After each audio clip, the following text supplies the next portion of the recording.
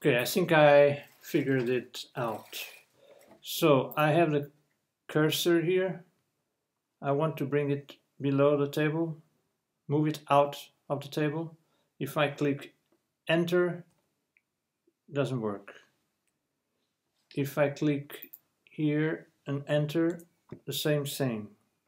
So what what I did is I typed some words, FFF, no, I typed them here outside FFF.